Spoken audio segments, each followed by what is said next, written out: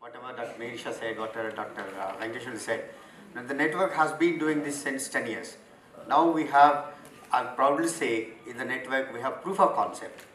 Uh, not in a isolated small, small way. We have 2,000 crore rupees of public investment, partnership with the governments in four, five states. Say uh, the Odisha Millet Mission now is a, is a comprehensive uh, program which deals with millets in plates, in, uh, in uh, production systems, how to improve productivity, how to improve uh, the, the process engineering and all that, and consumption, everything. Then uh, the AP drought mitigation project uh, now is a thousand crore project which actually builds all these elements into this thing. Now it's on ground. So one particular aspect that is coming across is the diversity and decentralization as the key principles of uh, know, acknowledgement and action. Now that is coming through the entire discussion.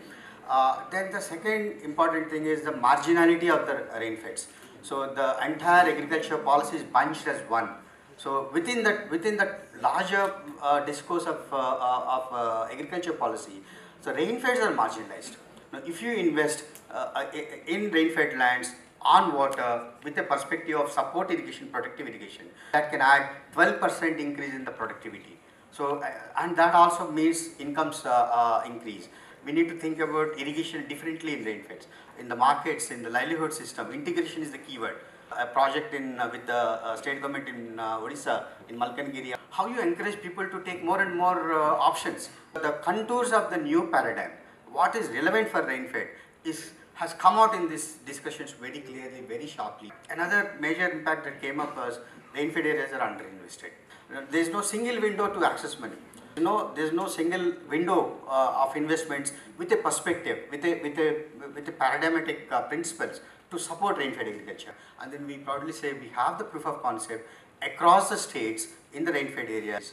Know, can we can we sort of you know uh, think through this this kind of a framework where we rethink about the technology, what are the options, think about the investment structures, rethink uh, rethink about the capacities, and then can we sort of demonstrate at scale. NRE is a leader in this. You know, you'll be working in 150 districts. Can can we can we sort of construct based on this this evidence available, uh, put it into operation so that at least by next year or somewhere we would like to see a, a, a rainfed areas program with a with a different framework.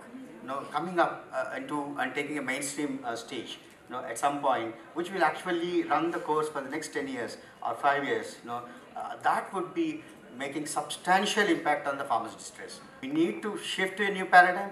What is the paradigm? The elements are available, the, the evidence is available, the science is uh, there to back up, the protocols are developed, investment structures one can see from the existing thing. Can we put them together and uh, no, on your plate, sir, to it forward?